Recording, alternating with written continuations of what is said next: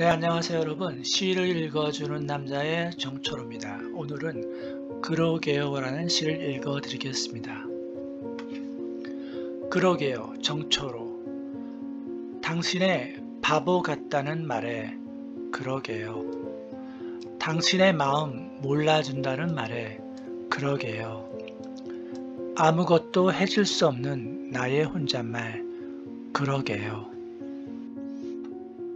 자신의 말이 옳았음을 강조하거나 상대방의 말에 찬성한다는 뜻을 나타낼 때 우리는 그러게요 라는 말을 사용합니다. 사람이 사람의 말을 알아듣지 못한다거나 이해하지 못할 때 우리는 바보라는 말을 사용하기도 합니다. 특히 남자가 여성의 말의 의미를 모를 때 바보라는 말을 자주 듣곤 합니다. 그런데 정말 남자가 여성의 말의 의미를 몰라서 그랬을까요? 요즘에는 남자들이 결혼하기도 쉽지 않아 보입니다.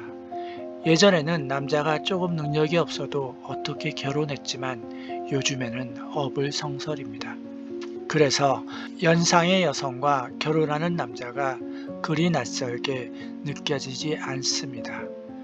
자신의 거울을 바라보며 마음속에 그리던 사람과의 인연을 어쩌지 못하는 우유부단한 남자의 말 한마디가 그러게요 라는 말입니다. 그러지 않은가요? 그러게요 정초로 당신의 바보 같다는 말에 그러게요 당신의 마음 몰라준다는 말에 그러게요 아무것도 해줄 수 없는 나의 혼잣말 그러게요 네 오늘은 그러게요 라는 시를 읽어드렸습니다. 감사합니다.